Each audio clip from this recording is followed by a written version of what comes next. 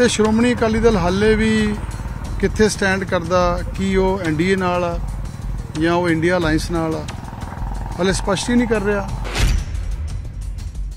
ਸੁਸ਼ੀਲ ਰਿੰਕੂ ਜੀ ਨੂੰ ਮੈਂ ਸਮਝਦਾ ਵੀ ਆਮ ਪਾਰਟੀ ਦੀ ਸਰਕਾਰ ਨੇ ਫਰਸ਼ ਤੋਂ ਅਰਸ਼ ਤੱਕ ਲੈ ਆਂਦਾ ਸੀ। ਬਿਨਾਂ ਵਜ੍ਹਾ ਆਪਾਂ ਪੋਲਿਟਿਕਸ ਵਿੱਚ ਇਹ ਸੋਚ ਲਈਏ ਵੀ ਅਸੀਂ ਵਿਰੋਧੀ ਆ ਤਾਂ ਵਿਰੋਧਤਾ ਹੀ ਕਰੀ ਜਾਣੀ ਆ, ਉਹ ਨਹੀਂ ਠੀਕ।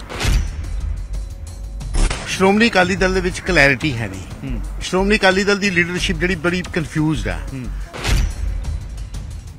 ਅਜੇ ਤੱਕ ਕਿਸੇ ਵੀ ਅਕਾਲੀ ਲੀਡਰ ਦੇ ਮੂੰਹੋਂ ਨਹੀਂ ਸੁਣਿਆ ਵੀ ਇਹਨਾਂ ਦਾ ਬੀਜੇਪੀ ਨਾਲ ਅਲਾਈਅੰਸ ਟੁੱਟ ਗਿਆ। ਪਹਿਲਾਂ ਤੁਹਾਨੂੰ ਇਹ ਚੀਜ਼ਾਂ ਕਿਉਂ ਨਹੀਂ ਦੇਖੀ? ਹੁਣੇ ਤੁਸੀਂ ਜੁਆਇਨ ਕਰ ਰਹੇ ਹੋ ਹੁਣੇ ਤੁਸੀਂ ਕਹਿ ਰਹੇ ਹੋ ਅਕਾਲੀ ਦਲ 'ਚ ਕਲੈਰਿਟੀ ਨਹੀਂ ਹੈ। ਇਹ ਕਿਤੇ ਨਾ ਕਿਤੇ ਸਵਾਲ ਹੈ। ਅਕਾਲੀ ਦਲ ਨੂੰ ਇੱਕ ਵੱਡਾ ਝਟਕਾ ਲੱਗਿਆ। ਪਵਨ ਕੁਮਾਰ ਟੀਨੂ ਅੱਜ ਆਮ ਆਦਮੀ ਪਾਰਟੀ 'ਚ ਸ਼ਾਮਿਲ ਹੋਏ। ਸਾਡੇ ਨਾਲ ਨੇ। ਪਵਨ ਜੀ ਸਭ ਤੋਂ ਪਹਿਲਾਂ ਨਿਊਜ਼ 18 ਤੇ ਤੁਹਾਡਾ ਸਵਾਗਤ ਹੈ। ਥੈਂਕ ਯੂ ਜੀ। ਟੀਨੂ ਜੀ ਅੱਜ ਇੱਕ ਵੱਡਾ ਫੈਸਲਾ ਲਿਆ ਹੈ। ਮੁੱਖ ਮੰਤਰੀ ਨੇ ਖੁਦ ਤੁਹਾਨੂੰ ਸ਼ਾਮਿਲ ਕਰਾਇਆ। ਕਿਸ ਤਰ੍ਹਾਂ ਵੇਖਦੇ ਹੋ ਇਹ ਸਰਕਮਸਟੈਂਸ ਕਿਉਂਕਿ ਲੋਕ ਸਭਾ ਇਲੈਕਸ਼ਨ ਜਿਹੜੇ ਹੈਗੇ ਉਹ ਬਿਲਕੁਲ ਨੇੜੇ ਹੈ। ਅੱਜ ਤੁਸੀਂ ਜੁਆਇਨ ਕੀਤਾ ਕਿਸ ਤਰ੍ਹਾਂ? ਮੇਰੇ ਲਈ ਵਾਕਿਆ ਹੀ ਇਹ ਬੜਾ ਵੱਡਾ ਫੈਸਲਾ ਹੈ। ਕਿਉਂਕਿ ਪਿਛਲੇ 16 ਸਾਲ ਮੈਂ ਸ਼੍ਰੋਮਣੀ ਅਕਾਲੀ ਦਲ ਚ ਲਗਾਏ ਤੇ ਮੇਰੀ ਸਿਆਸਤ ਜਿਹੜੀ ਆ ਬੜੀ ਇਮਾਨਦਾਰੀ ਵਾਲੀ ਬੜੀ ਸਾਦੀ ਆਮ ਲੋਕਾਂ ਵਿੱਚ ਵਿਚਰਨ ਵਾਲੀ ਰਹੀ ਹੈ। ਤੇ ਭਗਵੰਤ ਸਿੰਘ ਮਾਨ ਜੀ ਦੀ ਸਰਕਾਰ ਜਿਹੜੀ ਹੈ, ਉਹ ਲਗਾਤਾਰ ਪੰਜਾਬ ਦੇ ਲੋਕਾਂ ਦੀ ਸੁਣਵਾਈ ਕਰ ਰਹੀ ਹੈ ਵੈਲਫੇਅਰ ਕਰ ਰਹੀ ਹੈ, ਭਲਾਈ ਕਰ ਰਹੀ ਹੈ, ਬਿਜਲੀ ਦੇ ਬਿੱਲ 80% ਤੋਂ ਲੋ- ਜ਼ਿਆਦਾ ਲੋਕਾਂ ਦੇ ਮਾਫ ਹੋ ਗਏ। ਪਾਣੀ ਦੇ ਬਿੱਲ ਨਹੀਂ ਆਉਂਦੇ, ਚੰਗੇ ਸਕੂਲ ਬਣ ਰਹੇ ਆ, ਕਲੀਨਿਕਾਂ ਅੰਦਰ ਦਵਾਈਆਂ ਮੁਫਤ ਮਿਲ ਰਹੀਆਂ ਲੋਕਾਂ ਨੂੰ। ਹੋਰ ਦੱਸਦਾ, ਤੁਸੀਂ ਦੇਖੋ ਵੀ ਸਰਕਾਰੀ ਮੁਲਾਜ਼ਮਾਂ ਨਾਲ ਗੱਲ ਕਰੋ ਕਦੀ ਨਹੀਂ ਕਹਿੰਦੇ ਸਰਕਾਰ ਕਹਿੰਦੀ ਵੀ ਸਾਡੇ ਖਜ਼ਾਨੇ ਬੰਦ ਆ। ਪੈਨਸ਼ਨ ਨਹੀਂ ਆਈ, ਤਨਖਾਹ ਨਹੀਂ ਆਈ। ਹਾਂਜੀ, ਖਜ਼ਾਨਾ ਖਾਲੀ ਆ। ਦੇਖਿਆ ਕਦੀ?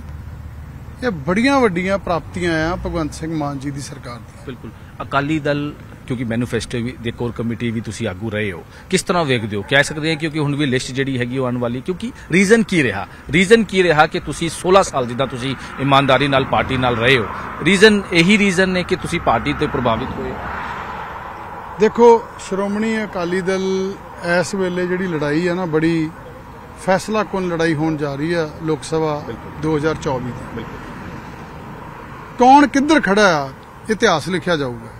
ਇਹ ਕੋਈ ਆਮ ਚੋਣਾਂ ਨਹੀਂ। ਬਿਲਕੁਲ। ਤੇ ਇਸ ਵੇਲੇ ਇੱਕ ਪਾਸੇ ਸੰਵਿਧਾਨ ਨੂੰ ਖਤਮ ਕਰਨ ਵਾਲੀਆਂ ਤਾਕਤਾਂ ਇੱਕ ਪਾਸੇ ਸੰਵਿਧਾਨ ਨੂੰ ਬਚਾਉਣ ਵਾਲੀਆਂ ਤਾਕਤਾਂ। ਤੇ ਇਸ ਕਰਕੇ ਹੁਣ ਇਹ ਆਪਣੀ ਜ਼ਿੰਦਗੀ 'ਚ ਫੈਸਲਾ ਲੈਣਾ ਪੈਣਾ ਸੀ ਕਿ ਤੁਸੀਂ ਕਿੱਧਰ ਖੜੇ ਆ। ਤੇ ਸ਼੍ਰੋਮਣੀ ਅਕਾਲੀ ਦਲ ਹਾਲੇ ਵੀ ਕਿੱਥੇ ਸਟੈਂਡ ਕਰਦਾ ਕੀ ਉਹ ਐਨਡੀਏ ਨਾਲ ਆ ਜਾਂ ਉਹ ਇੰਡੀਆ ਅਲਾਈਅੰਸ ਨਾਲ ਆ ਹਲੇ ਸਪਸ਼ਟ ਹੀ ਨਹੀਂ ਕਰ ਰਿਹਾ। ਇਹ ਰੀਜ਼ਨ ਰਿਹਾ। ਸਰ, ਸੁਸ਼ੀਲ ਰਿੰਕੂ ਨੂੰ ਲੈ ਕੇ ਤੁਸੀਂ ਕਿਸ ਤਰ੍ਹਾਂ ਵੇਖਦੇ ਹੋ? ਹਾਲਾਂਕਿ ਪਹਿਲਾਂ ਉਹ ਆਮ ਆਦਮੀ ਪਾਰਟੀ 'ਚ ਸ਼ਾਮਿਲ ਹੋਏ। ਲੋਕਾਂ ਨੇ ਜਿਹੜਾ ਵਿਸ਼ਵਾਸ ਜਤਾਇਆ, ਹੁਣ ਦੁਬਾਰਾ ਉਹ ਬੀਜੇਪੀ 'ਚ ਸ਼ਾਮਿਲ ਹੋਏ, ਕਿਸ ਤਰ੍ਹਾਂ ਵੇਖਦੇ ਹੋ? ਸੁਸ਼ੀਲ ਰਿੰਕੂ ਜੀ ਨੂੰ ਮੈਂ ਸਮਝਦਾ ਵੀ ਆਮ ਪਾਰਟੀ ਦੀ ਸਰਕਾਰ ਨੇ ਫਰਸ਼ ਤੋਂ ਅਰਸ਼ ਤੱਕ ਲੈ ਆਂਦਾ ਸੀ। ਤੇ ਲੋਕਾਂ ਨੇ, ਜਲੰਧਰ ਦੇ ਲੋਕਾਂ ਨੇ ਉਹਨਾਂ ਨੂੰ ਇੱਕ ਉਮੀਦ ਰੱਖ ਕੇ ਵੋਟਾਂ ਪਾਈਆਂ ਸੀ ਕਿ ਜਲੰਧਰ ਦਾ ਵਿਕਾਸ ਹੋਏਗਾ। ਆਮ ਲੋਕਾਂ ਨੂੰ ਉਹ ਮਿਲਣਗੇ। ਉਹ ਜਲੰਧਰ ਦੀਆਂ ਕੀ ਜ਼ਰੂਰਤਾਂ EMPLOYMENT ਜਨਰੇਸ਼ਨ ਕਿੱਦਾਂ ਕਰਨੀ ਹੈ। ਹੈਲਥ ਸੇਵਾਵਾਂ ਵਿੱਚ ਸੁਧਾਰ ਕਿੱਦਾਂ ਕਰਨਾ? ਹੈ। ਲੋਕਾਂ ਨੂੰ ਨਸ਼ਾ ਮੁਕਤ ਕਿੱਦਾਂ ਕਰਨਾ? ਹੈ ਉਹ ਉਧਰ ਕੁਝ ਨਹੀਂ ਕਰ ਸਕੇ। ਲੋਕਾਂ ਦਾ ਵਿਚਾਰਿਆਂ ਦਾ ਦਿਲ ਟੁੱਟ ਗਿਆ ਕਿਉਂਕਿ ਸਵਾ ਕੁ ਸਾਲ ਉਹ ਐਮਪੀ ਰਹੇ ਆ। ਉਹਨਾਂ ਦੀ ਪਰਫਾਰਮੈਂਸ ਨਹੀਂ ਰਹੀ। ਇਸ ਕਰਕੇ ਉਹ ਬੀਜੇਪੀ ਚਲ ਗਏ ਮੈਂ ਤਾਂ ਸਮਝਦਾ ਵੀ ਉਹ ਬੀਜੇਪੀ 'ਚ ਜਾਣਾ ਉਹਨਾਂ ਦਾ ਬੜਾ ਹੈਰਾਨੀ ਵਾਲਾ ਹੈ ਕਿਉਂਕਿ ਬੀਜੇਪੀ ਤਾਂ ਸ਼ਰੇਆਮ ਕਹਿ ਰਹੀ ਹੈ ਕਿ ਅਸੀਂ ਸਾਡਾ ਇੱਕ ਖਾਸ ਏਜੰਡਾ ਹੈ। ਅਸੀਂ ਤਾਂ ਸੰਵਿਧਾਨ ਨੂੰ ਬਦਲਣਾ ਹੀ ਬਦਲਣਾ ਤਾਂ ਉਹਦਾ ਬੀਜੇਪੀ 'ਚ ਜਾਣਾ ਮੇਰੇ ਲਈ ਬੜੀ ਹੈਰਾਨੀ ਹੈ ਇੱਕ ਆਖਰੀ ਸਵਾਲ ਹੈ 16 ਤਰੀਕ ਨੂੰ ਭਗਵੰਤ ਮਾਨ ਜੀ ਨੇ ਟਵੀਟ ਕੀਤਾ ਹੈ ਕਿ 16 ਤਰੀਕ ਨੂੰ ਜਲੰਧਰ ਤੇ ਲੁਧਿਆਣਾ ਦੀ ਟਿਕਟਾਂ ਅਨਾਉਂਸ ਹੋਣਗੀ ਕੋਈ ਗੱਲਬਾਤ ਹੋਈ ਹੈ ਟਿਕਟ ਨੂੰ ਲੈ ਕੇ? ਕੋਈ ਗੱਲ ਨਹੀਂ ਹੋਈ ਨਾ ਮੈਂ ਕੋਈ ਸ਼ਰਤ ਰੱਖੀ ਆ। ਸਰਦਾਰ ਗੁਰਚੰਦ ਸਿੰਘ ਚੰਨੀ ਜੀ ਮੇਰੇ ਨਾਲ ਸੀ। ਅਸੀਂ ਕੋਈ ਸ਼ਰਤ ਨਹੀਂ ਰੱਖੀ।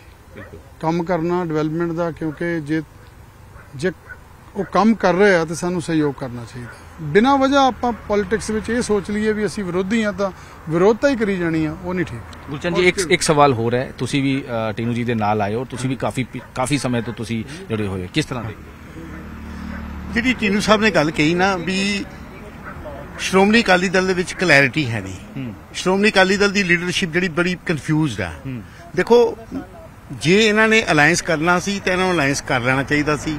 ਜੇ ਤੋੜਨਾ ਸੀ ਤੇ ਅੱਜ ਤੋਂ ਮਹੀਨਾ ਪਹਿਲੇ ਤੋੜ ਦੇਣਾ ਚਾਹੀਦਾ ਸੀ। ਅਜੇ ਤੱਕ ਕਿਸੇ ਵੀ ਅਕਾਲੀ ਲੀਡਰ ਦੇ ਮੂੰਹੋਂ ਨਹੀਂ ਸੁਣਿਆ ਵੀ ਇਹਨਾਂ ਦਾ ਬੀਜੇਪੀ ਨਾਲ ਅਲਾਈਅੰਸ ਟੁੱਟ ਗਿਆ।